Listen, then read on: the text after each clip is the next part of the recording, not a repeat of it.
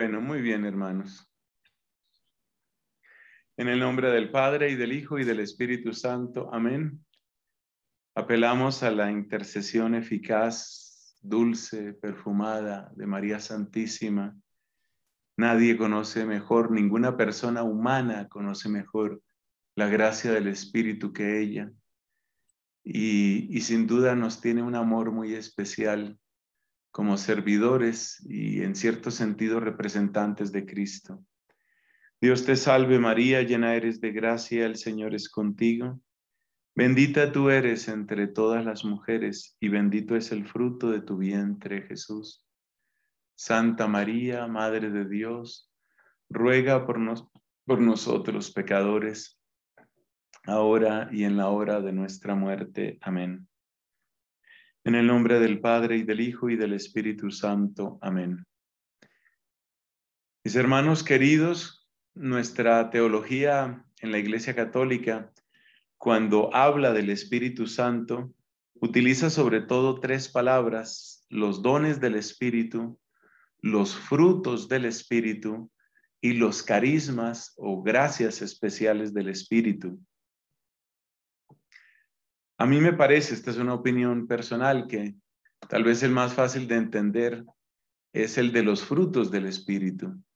Allí donde, allí donde el Espíritu Santo está, pues produce frutos y se enumeran en distintos lugares, por ejemplo en la carta a los Gálatas. Entonces, eh, la paz, la generosidad y todos estos frutos que se describen del Espíritu son la obra natural cuando está Dios en nosotros. Esos son, diría yo que son un poco fáciles de entender.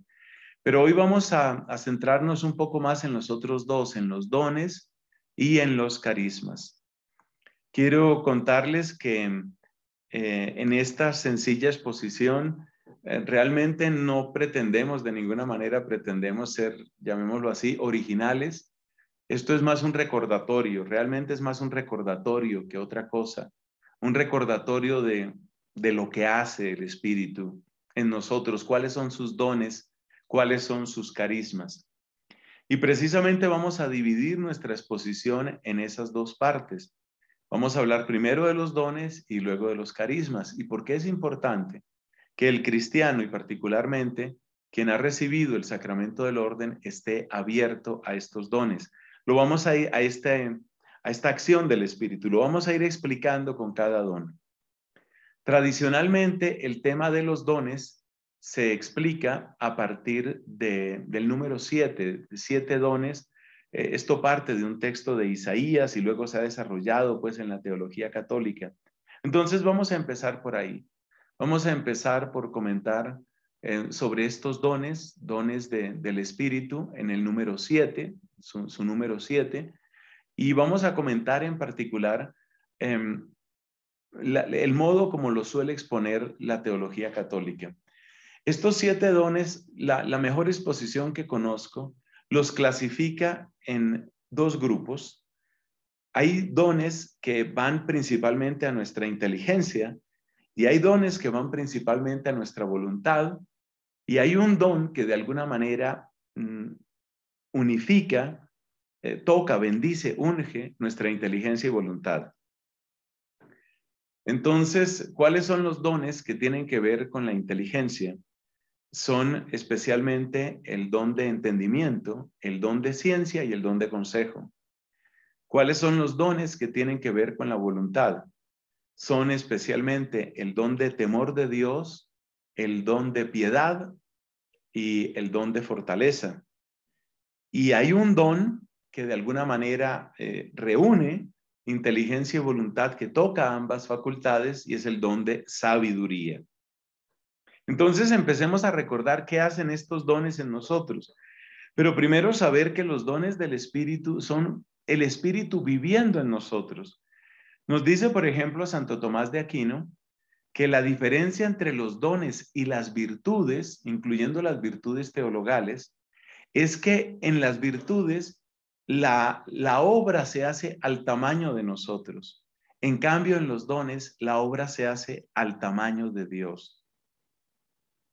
Es decir, que hay una nueva altura, O como dice el refrán que ya todos conocemos, esto es otro nivel. Literalmente es lo que sucede con los dones. Los dones son otro nivel, otro nivel. ¿Y por qué son otro nivel? Porque porque es como Dios haciendo su misterio en nosotros. Entonces, por ejemplo, uno puede tener la virtud de la fortaleza. De hecho, es una de las virtudes cardinales, de las cuatro virtudes cardinales. Seguramente recordamos las virtudes cardinales, prudencia, justicia, fortaleza y templanza. Entonces, la fortaleza como, como virtud, pues nos ayuda a emprender cosas arduas y nos ayuda a vencer la resistencia eh, frente a los obstáculos que nos ponen y también a soportar las, los ataques eh, que llegan sobre nosotros. Esa es la virtud de la fortaleza. Pero cuando uno se pone a pensar en lo que es el don de fortaleza, del cual vamos a hablar en unos minutos, uno se da cuenta que el don de fortaleza lleva esto a un nuevo nivel. Es decir, que permite emprender cosas que parecen humanamente inalcanzables. Piense usted, solo le doy un ejemplo, piense usted en lo que sucede con un misionero como San Francisco Javier. Estamos en el siglo XVI y San Francisco Javier sale de Europa para darle la vuelta a África por abajo, por el Cabo de Buena Esperanza, volver a subir por Madagascar, llegar a lo que hoy es Pakistán y la India recorrer toda esa costa para finalmente salir a lo que hoy es Myanmar, Tailandia y luego China, Japón. Todo eso sin tener ni las lenguas, ni seguro de viaje, ni nada. Es decir, es una empresa de locos completamente. Ese nivel de fortaleza para afrontar todas esas dificultades indudablemente nos habla de una acción particular de Dios. Entonces, como introducción, los dones se diferencian de las virtudes porque los dones nos permiten actuar a un nuevo nivel, que es, por así decirlo, al nivel de Dios. Realmente producen en nosotros lo que los teólogos orientales llaman la deificación. Nos hacen semejantes, nos hacen deiformes, nos hacen próximos al ser y al actuar de Dios. Bueno, eso como introducción. Ahora sí vamos con cada uno de los dones y cómo es importante dentro de la vida sacerdotal. El primer don es el don de entendimiento. Lo propio del don de entendimiento es precisamente que yo pueda tener inteligencia de lo que Dios nos ha revelado, principalmente a través de su palabra. El don de entendimiento nos permite asomarnos al sentido propio de la escritura, a la unidad propia de la escritura y a recibir ese mensaje, el mensaje de la escritura, como mensaje que Dios nos da a nosotros.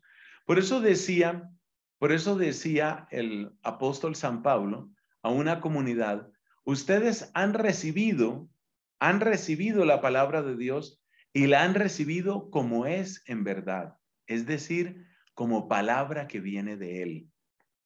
Inmediatamente nos damos cuenta de los grandes bienes que tiene el don de entendimiento en la vida de un sacerdote. Vamos a mencionar tres bienes y me alegra mucho ver que algunos de ustedes están tomando sus apuntes. Además, pues sabemos que esto se está grabando. Pero, pero miremos los grandes bienes que provienen de esta, eh, de esta manera de, de obrar Dios con el don de entendimiento. Mira estos bienes tan preciosos. Primero, el recibir la palabra de Dios con autoridad. La palabra de Dios no es una opinión más. Es una palabra capaz de transformar nuestra vida, capaz de limpiarla. Por ejemplo, Cristo dice a sus apóstoles, vosotros ya estáis limpios por la palabra que os he dicho. La palabra tiene poder, la palabra tiene autoridad. Recibir la autoridad de la palabra, recibir la palabra con autoridad es algo grandioso. Porque solo cuando la palabra tiene poder en nosotros, tendrá luego poder al salir de nosotros. No esperes que la palabra tenga poder afuera de ti si no ha tenido primero poder adentro de ti. Y quien le da poder a la palabra adentro de ti es el don de entendimiento. En segundo lugar, el don de entendimiento nos hace percibir cada vez riquezas más profundas y riquezas más bellas de esa misma palabra. Si estamos estancados en nuestra predicación, si sentimos que nuestras homilías realmente son algo así como una repetición de repeticiones, que siempre terminamos más o menos diciendo lo mismo, yo creo que necesitamos este don de entendimiento. Yo no presumo de tener ni este ni ningún don, pero sí les puedo contar este testimonio, hermanos queridos. Yo he visto cómo el Señor, después de casi 30 años, si Dios permite, en unos meses cumplo 30 años de sacerdocio, todavía hoy yo abro la escritura y encuentro cosas y digo, pero si yo he leído este evangelio 10, 15, 20, 30 veces, muchas veces, y todavía el evangelio me muestra cosas nuevas, cosas absolutamente preciosas. Hoy precisamente les comparto este pequeñísimo testimonio. Hoy precisamente por la tarde estaba preparando un ejercicio de exégesis que publico en mi canal de YouTube que es algo así como revisar el Evangelio del domingo a partir de la lengua original, a partir del griego. Y salen muchas cosas, muchas cosas ahí. Entonces, por ejemplo, hoy me daba cuenta de esto, cómo hay un movimiento exterior de la multitud que busca a Jesús. Es cuando Jesús les dice a los apóstoles, vayamos a un lugar tranquilo y apartado, porque eran tantos los que iban y venían que no tenían tiempo ni para comer. Y cuando llegaron allá, ya la gente había ido corriendo. Entonces, hay un movimiento exterior de la gente. Y luego, ¿qué nos dice el texto griego? Que a Jesús se le mueven las entrañas. Es decir, hay un paralelo entre el movimiento de la gente que corre hacia Jesús y el movimiento de Jesús que se conmueve ante la gente porque están como ovejas sin pastor. Esa relación entre el movimiento exterior de la gente y el movimiento interior de Cristo yo no la había visto nunca. La vi hoy. Esto es de hoy, exactamente de hoy. Eso es lo que nos da el Espíritu Santo. Nos permite descubrir esas perlas, esas perlas preciosas. Y sobre todo, este don de entendimiento nos permite permanecer en la palabra de Dios más allá de nuestros gustos. Porque recordemos que cada uno de nosotros siempre tiene textos favoritos. No me digas que no, tú también tienes tus textos favoritos. Todos tenemos textos favoritos. ¿Y qué pasa con nuestros textos favoritos? Que son nuestra manera peculiar de ver a Cristo. Entonces, tal vez a alguien le encanta ver a Cristo como ese gran revolucionario que no se achica ante las autoridades. A otro le gusta ver a Cristo en la delicadeza y ternura que tiene para con los niños, las mujeres y los excluidos. Otro mira a Cristo como el gran sacerdote, el contemplativo, el orante que está a solas con el Padre y que de ahí trae bendiciones para el mundo entero. Todas esas miradas son perfectamente válidas, completamente válidas. Pero ¿qué pasa? Que nosotros, hermanos sacerdotes, nosotros tenemos siempre la tentación de quedarnos con una sola mirada. El don de entendimiento, precisamente porque me acerca a la mirada de Dios, hace que yo no me quede con mi preferencia sobre Cristo, que yo no esté predicando el Cristo que a mí personalmente más me llama la atención, sino que yo predique el Cristo de los apóstoles, yo predique el Cristo que el Espíritu Santo ha querido entregarnos. Ese es el propósito del don de entendimiento. Entonces lo necesitamos enormemente. Pasemos al otro don. El segundo don que tiene que ver con la inteligencia, la facultad de la inteligencia, es el don de ciencia. La palabra ciencia, la palabra ciencia en, latín eh, se escribe con SC, la pronunciamos como ciencia. Ciencia viene del verbo shire, que significa saber. Entonces, el don de ciencia tiene que ver con el saber, con el conocimiento. Pero, ¿qué es lo propio de este don? Este es el don que nos permite reconocer la presencia y la obra de Dios en la naturaleza y en la historia. Entonces, que uno pueda ver la creación y que uno sienta lo que dice el Salmo, el cielo proclama la gloria de Dios, el firmamento pregona la obra de sus manos, que uno pueda ver ese, e, ese, ese firmamento, esa tierra, que uno pueda ver la naturaleza y que sienta que la naturaleza es como una sinfonía que canta Dios, eso es propio del don de ciencia. No solamente en ese plano, llamémoslo casi literario, sino pensemos, por ejemplo, en la persona que estudia la ciencia.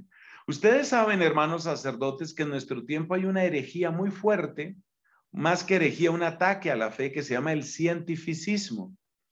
El cientificismo es la idolatría del conocimiento científico.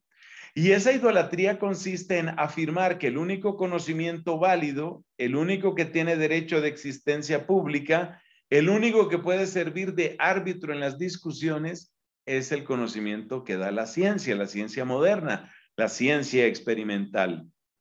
¿Cómo podemos luchar contra este, contra esta, este ataque del cientificismo? ¿Cómo podemos luchar teniendo en cuenta que es una de las razones principales por las que muchos jóvenes se apartan de la fe? Pero mucha, mucha gente se está apartando de la fe por este cientificismo. Pues mira, si nosotros nos llenamos realmente del don de ciencia, el cientificismo retrocede. El don de ciencia es la respuesta al cientificismo, pero hay más maravillas todavía. El don de ciencia también nos permite reconocer el paso de Dios en la historia. Te doy un ejemplo bíblico. Sabemos que a finales del siglo VI antes de Cristo, el imperio persa derrotó al imperio caldeo. El imperio persa tenía como capital Persépolis. El imperio caldeo tenía como capital Babilonia. Y en Babilonia estaban los judíos desterrados. Cuando el imperio persa derrota al imperio caldeo, lo hace por qué? ¿Por qué lo hace? Lo hace porque tiene codicia de riquezas y porque tiene codicia de dominio. Por eso los persas derrotaron a los caldeos básicamente por arrogancia y por codicia. Después de que los persas derrotaron a los caldeos, quieren humillar a la ciudad de Babilonia. Y una de las razones por las que los judíos estaban en Babilonia era para hacer mano de obra barata, para ser esclavos básicamente, que tenían el papel de eh, embellecer, de trabajar por esa ciudad, la ciudad de Babilonia. Ese era el trabajo de ellos. Pero ahora piensa esto. Cuando los persas vencen a los caldeos, entonces ya no les interesa que los judíos sigan en Babilonia. De hecho, quieren arrasar Babilonia o por lo menos reducirla en su importancia, en su esplendor. ¿Qué hace Ciro, que es el rey de los persas? Ciro, pues expulsa a los judíos, pero eso significa que termina el destierro de los judíos. La historia que te estoy contando es una historia política. Es una historia de hombres arrogantes, de hombres codiciosos y de pugnas de poder. Pero en medio de esas pugnas de poder, en medio de esa arrogancia, Dios estaba cumpliendo su plan. Dios estaba haciendo que pudieran retornar los judíos a su tierra. Es decir, a través de la codicia, la arrogancia, la crueldad de los persas, Dios estaba cumpliendo su plan de devolver a los judíos a su tierra, como lo había anunciado, por ejemplo, Jeremías. ¿Qué es lo que hace el don de ciencia? Que uno pueda ver, que eso nos lo enseña en ese caso la Biblia, que uno pueda ver que esta gente está en lo que está, es decir, está en sus arrogancias, está en sus codicias, está en lo que está. Que uno pueda ver a la gente, a esta gente haciendo todo eso y que uno sepa, aquí está obrando Dios. Imagínate cuánto necesitamos el don de ciencia hoy. ¿Cuánto necesitamos el don de ciencia cuando parece que solo los poderosos de este mundo tienen una palabra decisiva y que es solamente su palabra la que se va a cumplir? ¿Cuántas veces nosotros hemos oído que estamos en manos de las multinacionales, que estamos en manos de los ricos, que estamos en manos de George Soros, que estamos en manos del club de Bilderberg, que estamos en manos de... Esos son los persas de hoy, esos son los caldeos de hoy. Si nosotros cultivamos, hermanos, si nosotros cultivamos el don de ciencia, descubriremos que más allá de esas pretensiones de los poderosos de ayer o de hoy, Dios sigue reinando. Pero ¿dónde vamos a tener ojos? ¿Cómo tendremos ojos para ver a Dios reinando en medio de todo esto? Eso es lo que nos da el don de ciencia. El don de ciencia brilla especialmente en ese tiempo del destierro. El don de ciencia brilla, por ejemplo, en el capítulo 13 del profeta Daniel, que hace una lectura de la historia, hace una lectura de lo que está sucediendo y dice, mire, en medio de esto, Dios está haciendo su obra, está haciendo su obra preciosa. Es Dios el que reina. No parece, no parece, muchas veces no parece. A veces parece que lo único que tiene la iglesia para hacer es recoger como en una notaría sus derrotas. Necesitamos el don de ciencia. Y aquí hay una conexión muy hermosa. Solamente el don de ciencia nos dará una palabra de esperanza para nuestro pueblo golpeado por la tristeza, por la pandemia, por la pobreza, por la exclusión. ¿Cómo podemos tener una palabra de esperanza que no sea una palabra de fantasía? Porque hay palabras de fantasía. Pero la, fantasía no trae esperanza. ¿Cómo podremos nosotros hacer una lectura renovada de la historia si no es con el don de ciencia? Sigamos.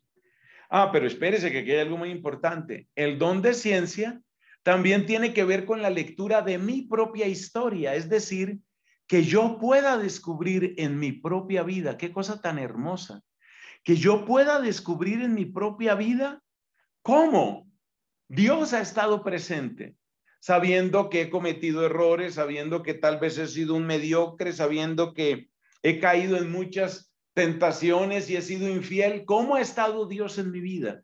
Y mira, el sacerdote que tiene una lectura de su propia vida en la cual puede reconocer la presencia de Dios, incluso en las peores caídas, en esa lectura, hermano, en ese, en ese modo de ver las cosas, tú tienes la posibilidad de la paz interior. No se trata de que justifiquemos lo que no tiene justificación. Pecadores somos y nos hemos equivocado de manera horrorosa. No se trata, no estoy hablando yo de justificar las cosas. Estoy hablando de tener una lectura serena de nuestro propio pasado, de nuestra propia realidad. Esa lectura serena es la que le da al sacerdote la posibilidad de la paz el poder predicar con paz, el poder irradiar paz, el poder dar esperanza. Todo esto viene del don de ciencia. Pasemos al tercer don, el don de consejo. El don de consejo también tiene que ver con la inteligencia. ¿Y qué es lo que trae el don de consejo?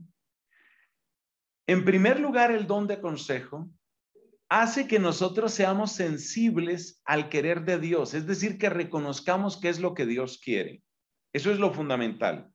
El don de consejo se inscribe dentro de los dones que santifican y que transforman nuestra inteligencia. Entonces, el primer papel del don de consejo es que yo pueda reconocer la voluntad de Dios para mí. El, primer, el primero que necesita consejo soy yo. Antes de salir a aconsejar a otros, el primero que lo necesita soy yo. Y aquí de nuevo entra ese tema tan bello, ese tema tan especial, ese tema tan necesario, el tema de la paz. Mira, hace unos meses hablaba con un sacerdote amigo y me comentaba con tristeza de un compañero, también sacerdote, y me decía, me da pesar por él, me da pesar porque le habían hecho un traslado, le habían pasado a otra parroquia y él estaba amargado en ese lugar, estaba amargado. Por supuesto, la amargura de él no lo sacaba de esa parroquia, amargado y todo seguía ahí, pero su amargura sí lo estaba consumiendo a él y su amargura sí que se le notaba en cada cosa que hacía. Para dar la bendición la daba con amargura. Para confesar la gente confesaba con amargura. Una procesión era la procesión de la amargura. Es decir, este hombre estaba destruyéndose y destruyendo su, ministerio pastoral. El don de consejo permite que aún en circunstancias difíciles nosotros percibamos la voz de Dios. Es como si Cristo nos dijera, también en esto estoy contigo. Es como si Cristo dijera, más allá de vicarios y de obispos, por hablar claro, y de provinciales tengo que decir yo, más allá de obispos y provinciales y vicarios, yo sé lo que te conviene y yo te estoy llevando. Ese es el don de consejo. Y el don de consejo da una certeza en la providencia que acrecienta la fe del sacerdote. Adiestrado por ese don de consejo que ha experimentado en su propia vida, el sacerdote va tomando el estilo de Dios. ¿El estilo de Dios para qué? El estilo de Dios para aconsejar a los otros. ¿Cuántas veces, hermanos, nosotros damos un consejo desde el agotamiento? Agotados. Yo, por ejemplo, hoy he tenido un día pesado, como les comentaba, fuera de cámaras. He tenido un día pesado, complicado, como muchos de ustedes seguramente. La vida del sacerdote con mucha frecuencia es pesada. Pero cuando tu boca se abra para aconsejar a alguien, ¿qué es lo que tú quieres que salga? ¿Solamente tu cansancio? ¿Solamente tu desilusión o tu preocupación? A medida que el don de consejo va tomando fuerza en nosotros, a medida que ese don realmente llega a nuestro corazón, entonces sucede algo muy hermoso. Y es que al aconsejar, realmente le ayudamos a los otros a que tengan la misma experiencia nuestra, es decir, a que perciban el querer de Dios. Pasemos a los dones que tienen que ver con la voluntad. El primero de ellos es el don de temor de Dios.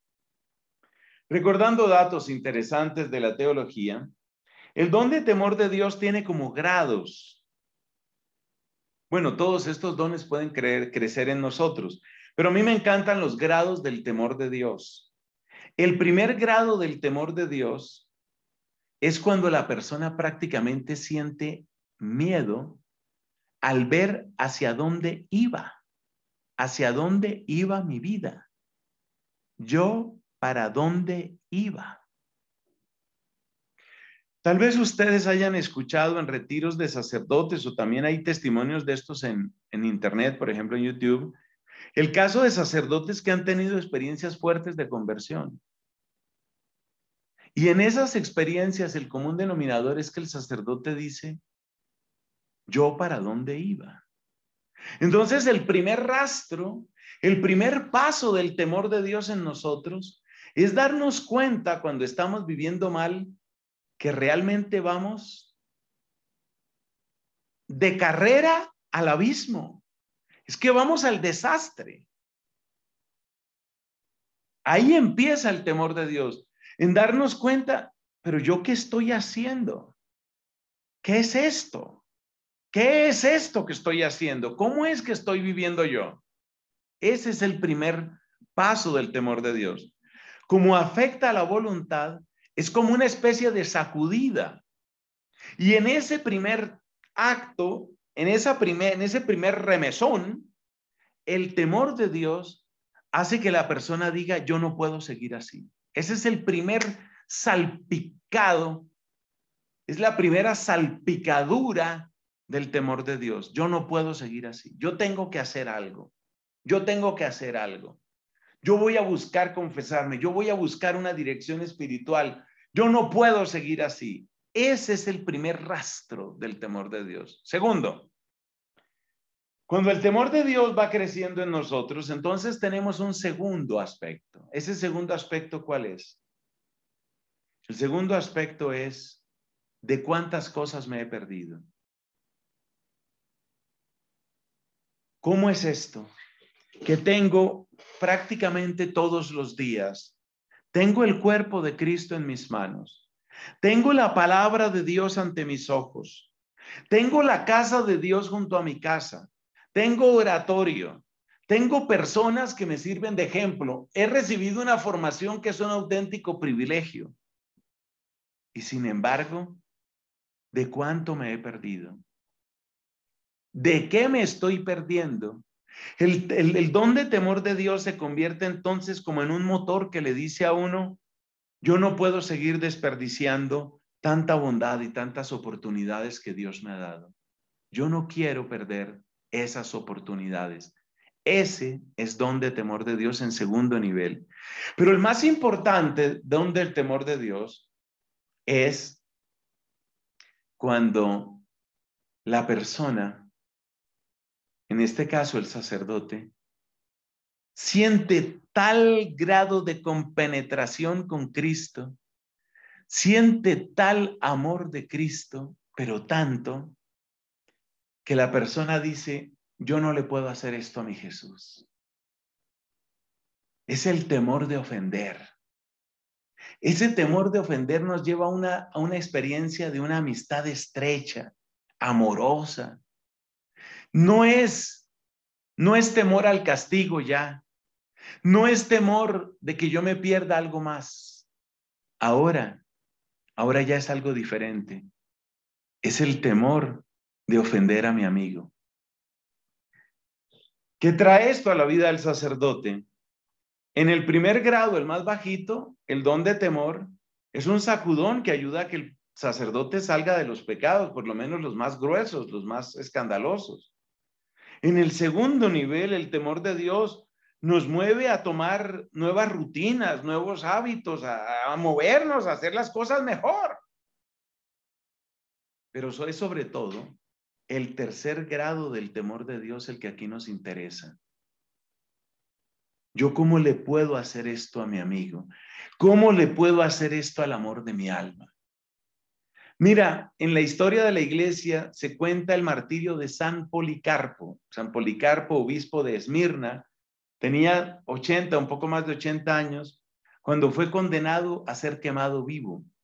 Pero como era una persona tan conocida, como era una persona tan famosa, le dieron la oportunidad un poco por respeto a sus canas y le dijeron, mira, tú haz como si idolatraras la estatua del emperador y dejemos esto así, te vas tranquilo para tu casa.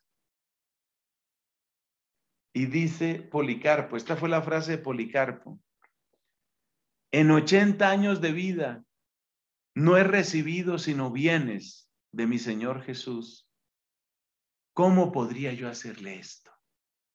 Y se dejó quemar por Jesús. Era tanto el temor que tenía de ofender a Jesús, era tanto el temor que tenía de desairar a Jesús, que ese temor de ofender a Cristo le hizo vencer el temor de las llamas con que iba a ser quemado vivo. Ese es el don de temor de Dios. Entonces imagínate el nivel de santidad al que puede llegar un sacerdote si de verdad crece en ese don de temor. Es algo grandioso. El segundo don que tiene que ver con la voluntad es el don de piedad. Según aprendemos por la palabra pietas, la eusebeia del griego, según aprendemos de la eusebeia griega, de la pietas latina, la piedad es ante todo el lazo de amor que une a padres e hijos es decir, todo lo que tiene con vivir el amor en favor de los hijos o de los hijos en favor de los padres. Dicho de modo más sencillo, este don, el don de piedad, mis hermanos, es el don que nos hace vivir como hijos. Y que un sacerdote viva como hijo hace que pueda tener la misma respuesta del hijo con H mayúscula de Cristo cuando dijo a sus apóstoles, todos ustedes me van a abandonar, pero el Padre, mi Padre, está conmigo. Yo creo que esto lo necesita el sacerdote de un modo particular, pues todo cristiano. Porque ustedes saben, y seguramente lo saben mejor que yo, que el sacerdote pasa por momentos de soledad. Y no es solamente la soledad afectiva, no es solamente la soledad emocional, Muchas veces es la soledad de la incomprensión. Muchas veces es la soledad de la ingratitud. Muchas veces es la soledad de la calumnia. Y este que les habla ha conocido algo de eso. Y esa soledad, esa soledad dramática, esa soledad que, que parece que hundiera sus garras en nuestra carne es realmente muy dura. ¿Cómo sobrellevaremos esa soledad? Pues uno de los principales auxilios que nos da Dios es sentirnos hijos. El Padre está conmigo. Si te sientes acompañado, si te sientes hijo, automáticamente vives tu soledad de otra manera. De inmediato tu soledad se convierte en otra cosa. Ahora ya no es lo que en cierto momento fue, porque ahora tienes un modo distinto de vivirlo. Ahora tu soledad ya no es soledad. El espíritu de hijos también hace que nosotros construyamos comunidad sin reemplazar a Dios. Es decir, como sacerdotes tenemos un ministerio que se llama Ministerio de Capitalidad. Estamos llamados a ser cabeza, sí, pero somos cabeza representando a Cristo cabeza, haciendo presente a Cristo cabeza, no reemplazando a Cristo cabeza. Entonces, tanta petulancia, tanto clericalismo, tanta arrogancia, todo esto que muchas veces ha criticado el Papa en nosotros los sacerdotes, todo eso que con tanta frecuencia y tan fácilmente se mete en nuestro corazón, todo eso, mis hermanos, todo desaparece cuando nosotros nos sentimos, nos reconocemos de verdad hijos. Porque si mi mayor título es ser hijo, como decían Basilio y Gregorio, ¿no? Los que celebramos el 2 de enero, nuestro mayor título era ser de Cristo. Si tu mayor título es ser hijo, ¿qué competencia tienes tú que hacer? Tú tienes que entrar en competencia. Ser el primero en el presbiterio es importante. Tener tal o cual cargo es importante. Si mi título es de hijo, mi título es de hijo. He contado varias veces la anécdota de un, de un sacerdote colombiano que aprecio mucho, párroco en la zona de Miami. Y alguna vez estuve en una misión en ese sitio. Bueno, pasábamos ahí por su parroquia y me dijo, eh, quiero que conozcas mi despacho, mi despacho parroquial. Muy sencillo todo, eh, muy bien organizado. En la pared, en la pared mayor de su despacho, solo había algo que estaba enmarcado, solo había un documento enmarcado. ¿Qué era? ¿El doctorado que sacó? ¿La maestría que sacó? ¿La licenciatura? ¿El diplomado? ¿Un curso que hizo? ¿Un reconocimiento? ¿Un acto de gratitud? ¿Sabes qué era lo que tenían marcado ahí? Era lo único que tenían marcado. Su partida de bautismo. Yo no lo podía creer. Yo eso no lo he visto en otra parte. Pudiendo poner seguramente otros títulos, incluyendo, qué sé yo, la secundaria o cuando terminó su, su licenciatura. No. Lo único que tenían marcado era su bautismo. De ahí viene todo y allá llega todo. Y lo que yo tengo que entregarle, las cuentas que tengo que entregarle a mi Dios el día de mi muerte, son ante todo qué hice con mi bautismo. Eso se llama espíritu de hijo, porque por el bautismo llegamos a ser hijos. Lo que yo tengo que entregarle a Cristo lo que yo tengo que entregarle a Dios, en primer lugar, ¿qué es? Mi bautismo. ¿Qué hice con mi bautismo? Bueno, el don de fortaleza sabemos qué es. El don de fortaleza nos permite acometer obras arduas y nos permite soportar tentaciones, soportar dificultades. Cuando llega a nosotros el don del Espíritu Santo, el don de fortaleza, nos capacita para ser valientes en el ministerio. Digamos que este don se muestra de modo especial en el sacerdote cuando es valiente en su ministerio. ¿Y en qué consiste ser valiente en el ministerio? Hablar de lo que muchos sacerdotes no quieren hablar. Yo no estoy llamando aquí a exhibicionismo, no estoy llamando aquí a una especie de petulancia que también se entra a veces en el sacerdote, Ustedes y yo conocemos algunos sacerdotes y bueno, Dios nos bendiga a todos y nos perdone a todos, pero unos sacerdotes que tienen, por ejemplo, sus canales de YouTube y entonces eh, en esos canales más o menos eso pontifican y condenan a medio mundo y nosotros somos los que sabemos y el resto no sabe nada. No, el don de fortaleza no es eso. Pero el don de fortaleza sí es que yo pueda tocar los temas que la gente no quiere oír, pero pueda tocarlos con la misma mansedumbre y humildad que tiene el corazón de Jesús. ¿Y cuáles son temas que la gente no quiere oír? Pues sobre todo los que tienen que ver con la exaltación del yo, sobre todo el yo sensible, del ego sensible, del ego sensual. La gente no quiere oír hablar de eso. Y hermanos, hay muchos sacerdotes que están dando pie atrás, hay muchos sacerdotes que están retrocediendo, que se está achicando, que se está acobardando. Hay muchos sacerdotes acobardado, que ya no habla de ciertos temas o que ante ciertos públicos se calla o que si estoy con jóvenes no hablo de ciertos temas porque ¿para qué pierdo el tiempo con eso? El don de fortaleza es el que hace que aún los temas incómodos los trates, pero repito, sin arrogancia, sin soberbia. No estamos llamando a la soberbia. No, este no es un tema de soberbia. Este no es un tema de vanidad ni de exhibicionismo. Este es un tema precioso de servicio al Evangelio hasta las últimas consecuencias. Ese don de fortaleza necesitamos. Y termino. Lo que sucede es que se me fue casi todo el tiempo, creo. Y termino con el don de sabiduría.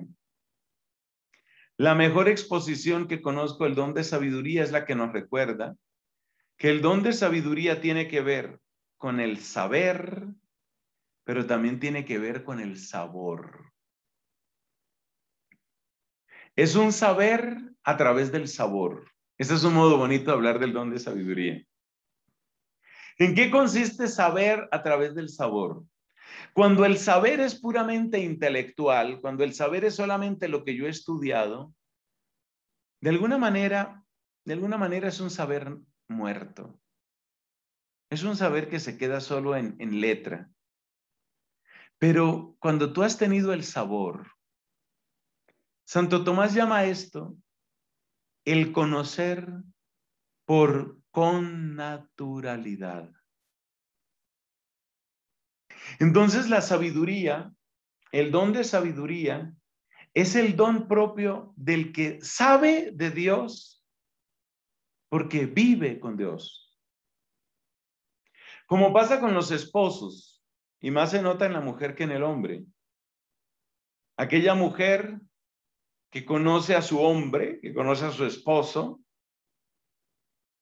y ella sabe cómo se siente él, y ella sabe qué quisiera. Mis papás ya murieron ambos, y recuerdo tantas cosas bellas de ellos. En alguna oportunidad, algo le pregunté a mi papá, y decía a mi papá, a mi mamá él le decía Maruja, y entonces decía mi papá, Maruja es la que sabe cuando yo tengo hambre. Imagínate. Maruja es la que sabe cuando yo tengo hambre. ¿Qué nivel de compenetración? Ella es la que sabe cuando yo tengo hambre. Entonces, imagínate lo que es vivir con Jesús, tener el sabor de Jesús, tener el estilo de Jesús, tan adentro de nosotros, tan incorporado en nosotros, que nosotros podamos ver un ambiente y decir, esto no le gusta a Jesús. Ver un plan pastoral y decir, esto le gusta a Jesús. Ver una conversación, ver un estilo y decir, esto, esto le da gloria a Jesús. Eso es lo propio del don de sabiduría. Es un don que por con naturalidad nos acerca a Él, hasta hacernos percibir como anticipadamente qué es lo que a Él le agrada, qué es lo que Él prefiere, en dónde quiere glorificarse, en dónde y cómo quiere glorificarse. Bueno, pero me da vergüenza ver dos, tres minutos para decir algo de los carismas. Es que yo me entusiasmo con los dones. La palabra charisma en griego significa regalo Los carismas son regalos de Dios.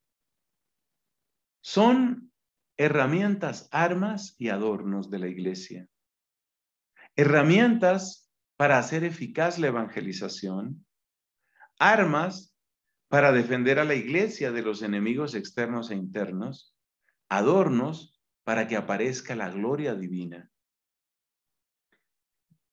¿Por qué nosotros hemos de estar abiertos a los carismas, siempre con discernimiento? Y sí, yo no estoy hablando aquí de, de nada exótico ni cosa parecida. ¿Por qué nosotros necesitamos de los carismas? Te voy a decir, mira, necesitamos de los carismas para esas tres cosas que hacen los carismas. Imagínate que tú llegaras a un campo y te dicen, tienes que cultivarlo. Y tú dices, bueno, de acuerdo. ¿Y aquí qué hay? ¿Hay tractor? No, no hay tractor. No me digas, entonces, ¿qué hay? ¿Una yunta de bueyes? No, tampoco. Aquí tampoco hay yunta. ¿Y un asadón? No, tampoco hay asadón. Tú dirías, pero entonces, ¿cómo, ¿cómo quiere usted que yo cultive esto? Dios te quiere dar herramientas. Piensa, por ejemplo, en el Padre Pío. Claro que en el Padre Pío esos carismas, Dios mío. El Padre Pío, Pío de Pietrelchina, ay Dios, esos carismas estaban pero como desbordados, ¿no? Entonces, el Padre Pío tenía, por ejemplo, ese carisma que le permitía con palabra de conocimiento saber lo que la gente no había confesado. ¿Y no vas a confesar tal cosa? Ay, padre, ¿usted cómo sabe? Lo importante es que Dios lo sabe. Y lo importante es que tú no lo has confesado. Él nunca quería que la atención se quedara en él. Él nunca quería eso. Entonces, esa es una herramienta preciosa de evangelización. Imagínate este don que es tan debatido, este carisma, pues que es tan debatido. El carisma de lenguas es fundamentalmente para edificación del que ora, según nos dice San Pablo en 1 Corintios 14. Imagínate que nuestra oración se llene de fuego, que nuestra oración no se convierta simplemente en la obligación que tengo que cumplir. Imagínate eso. Esa es una gran bendición para un sacerdote. Impresionante. Imagínate un don de discernimiento de espíritus. San Ignacio de Loyola nos enseñó que el discernimiento de espíritus trata de establecer cuándo una emoción viene de Dios, cuándo viene de la misma persona, cuándo viene el demonio. Eso es lo propio del don de discernimiento. Imagínate un sacerdote con un don de discernimiento real, poderoso. Prácticamente todos los días tenemos que discernir. Y llegan movimientos y llegan grupos y llegan inspiraciones. Claro, quien tiene que hacer un discernimiento mucho más definitivo y permanente, pues es el obispo. Pero es que todo pasa también por la vida del sacerdote. Entonces los carismas son las herramientas que Dios te ha dado, hay que pedirlas. Cultivar un, un lote de tierra, cultivar una finca sin arado, yo te cuento que es muy difícil. Eso de empezar uno así con las manos a tratar de ver qué voy a sembrar es muy lento y muy difícil. Son herramientas, son armas. En Efesios 6 dice San Pablo, es que nuestra lucha no es contra la carne y la sangre, sino contra estos espíritus de tinieblas. Tú necesitas unción potente del Espíritu. Acuérdate lo que nos cuenta el libro de los Hechos de los Apóstoles, cuando un grupo por allá de cristianos se metieron a hacer un exorcismo. Y entonces le dijeron al endemoniado, en nombre de Jesús, el que predica Pablo, vete de este hombre. Y el demonio respondió, yo sé quién es Jesús y quién es Pablo, pues ustedes quiénes son, y les dio una paliza terrible. El exorcismo acabó mal. Les faltaba el arma, les faltaba el arma. Entonces, si nosotros vamos al combate sin armas, Nada es raro que resultemos malheridos. Y no se nos olvide que los carismas son también adorno. Y la belleza también es importante, muy importante en la iglesia. La belleza atrae, la belleza convoca, la belleza unifica. Por algo decimos que los grandes líderes son personas carismáticas. Necesitamos carismas. Pidamos a Dios entonces, y así terminamos, pidamos a Dios que nos mire con misericordia, que traiga sobre nosotros la abundancia de sus dones. Ya vemos todo lo que puede hacer el don de Dios, los siete dones en el sacerdote, y que traiga sus carismas, ordinarios o extraordinarios, para que podamos ser más eficaces en nuestra evangelización y podamos hacer mayor bien a nuestros hermanos y darle mayor gloria a Dios. Gloria al Padre y al Hijo y al Espíritu Santo, como era en el principio, ahora y siempre, por los siglos de los siglos. Amén.